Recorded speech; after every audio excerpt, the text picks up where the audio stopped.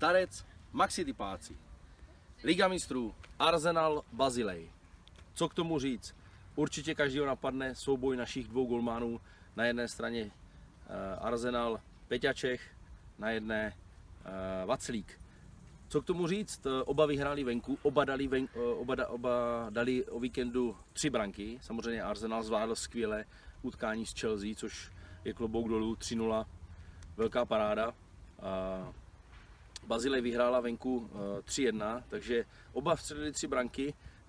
Možná pro Bazilej to byla dobrá generálka právě na Arsenal, kde to bude mít nesmírně těžký. Sám jsem zvědavý, na koho byste si vsadili. Kdo vychytá nulu, jestli Čechino nebo, nebo Vaclík. Toť otázka samozřejmě výhodu domácího prostředí má jednoznačně Čechino, takže i v tomhle typu budu favorizovat Arsenal a myslím si, že 1-0 vyhrají, to znamená Čechino vychytá nulu a v prvním poločase dá Arsenal branku a vyhraje 1-0. Zdarec, Mercedes.